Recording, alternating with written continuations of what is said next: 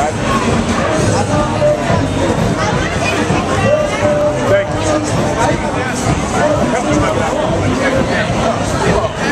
Y'all ready? Come on, set it with me.